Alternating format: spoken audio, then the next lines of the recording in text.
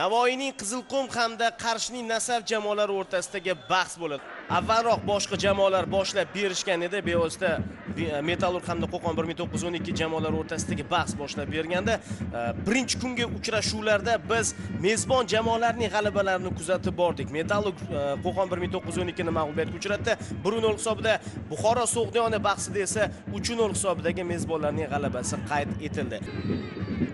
Qizilqum ketma ket uchinchi turni o'z uyida o'tkazmoqda. Ma'lum bir sabablar bo'ldi albatta. Mon ustunlik mezbon jamoada deb ayta olmasa kerak.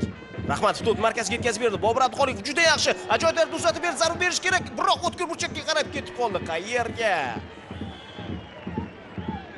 Daqiqani belgilab qo'yamiz. Juda yaxshi hujum tashkil etishdi. Biroq hujumning so'nggi nuqtasida g'aniyevga to'p uzatib berilyapti abduxoliqov tomonidan. Lekin unchalik bo'lmadi. Mana endi imkoniyat hisob ochilyapti uchrashuvning 13 daqiqasida va va yana bir bor bizga javob bermoqda bobur abduxoliqov. Qolib har doim asosiy tarkibda emas. Mana bu shunday harakatlandiki ubaydullayev e, qo'pollik qo'pollik ishlatganiga ishlatishga majbur bo'lib qoldi. Sadulla rahmatov to'p oldida. Atayin hozir g'aniyev o'tkazib yuboryapti. Eshmurodov. Golban jamoa qatarda mag'lubiyatga uchragan taqdirda ham muxlislar yolg'izlatib qo'yishmayapti. To'p yuqoridan jarima uzatilmoqda. Yovanovich imkoniyat bor. Chalqanchasiga zarba chiroyli zarbani ko'rdik. Boyagi vaziyat boyagi vaziyat yana bir bor ko'ramiz. Hech qanday bu yerda ofsayd yo'q. Himoya markazidagi futbolchi navoiy shahridagi yoshlar sport majmuasida mezbon qizilqum jamoasi o'z uyida imkoniyatni boy beryapti. Grigalashvili mana shu futbolchining harakatlari ham ancha qiziq imkoniyat bor. Zarba! Boyagi vaziyat boyagi vaziyat. O'tdi hech qanday gol yo'q. Ajoyib ajoyib grigalashvili yana imkoniyati bor. Yana yaqinlashyapti zarba! Ustun yondan o'tib ketmoqda yovanovich tashlanish kerak edi.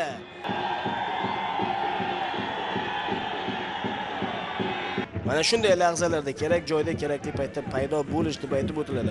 Ahamiyat bering navoiy shahri to'p jarimadan ichida abduxoliqovni hech kim kutmadi mana shu nuqtada. Himoyachi yana to'pni o'tkazib yuboryapti. Sanov o'ng tomonga uzatib yubormoqda bu yerda g'olib g'aybullayev. To'p yana bir bor yuqoridan uzatilmoqda. Darvozabon biroz ikkilandi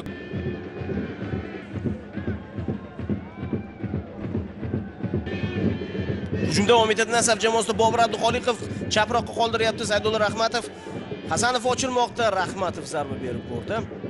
Hech qanday vaqt qo'shib bermadi. So'nggi taxminimiz to'g'ri bo'lib chiqdi. Kiritib bersa biz ham bunga diqqat e'tiborimizni qaratib o'tamiz. Biroq o'sha o'sha narsa vaziyatdan foydalanish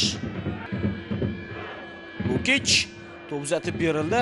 Hammadan o'tib ketdi va cheremisning qo'liga kelib tushyapti lekin kuchlilik qildi. Biroq qarama qarshi qanot rashidxonov to'pni egalladi yordamga yetib kelgan hamrobekov lukich lukich jarima maydoniga kirishi mumkin. Lukich darhol yo'q. Bu yerda yiqitildi yiqitildi lukich jarima maydoni ichida qulay pozitsiya uchun kurash kechyapti hasanov to'pni to'g'ri darvozaga yo'naltirdi. Hozir gol bo'ldi deb tushuntirmoqchi bo'lishyapti lekin juda ham bahsli holat. Diqqat bilan ko'ramiz. Gol yo'q edi bu yerda qadrli do'stlar. Gol yo'q edi. Eshmurodov yutib chiqyapti. Balandroq u. Bo'ydorroq boshma berilgan zarba. Maydon chetida andrey sidorov paydo bo'ldi. Bu esa takror lavha ruxsat berildi. Hasanov to'pni uzatyapti. Bosh bilan berilgan zarba 2-0 slavko lukich aniqrog'i 0-2 ga yetkazmoqda. Sal avvalroq ogohlantirilgan futbolchi zaxiradan maydonga tushgan futbolchi ham endi nasaf uchun hisobni yana ham ishonchli ko'rinishga olib kelyapti. Slavka lukich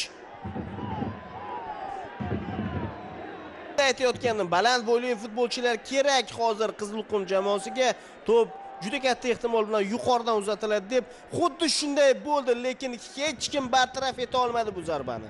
Hech kim. Yana bir bor ko'ramiz. Kuchli zarba emas. Sag'al teginib qo'ydi va mana shu cheremisini chalg'itdi. 0-2.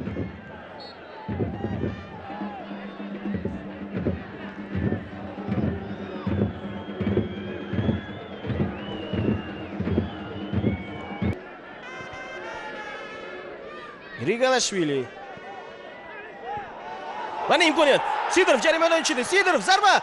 1-2, 1-2. 71-daqiqada hisob o'zgarmoqda va o'z-o'zidan savol tug'iladi. Mana shu futbolchini balki asos tarkibiga kiritish kerakdir. Chunki raqib ancha kuchli bo'lgan jamoa, chempion chempionatda chempionlik uchun kurashadigan jamoa.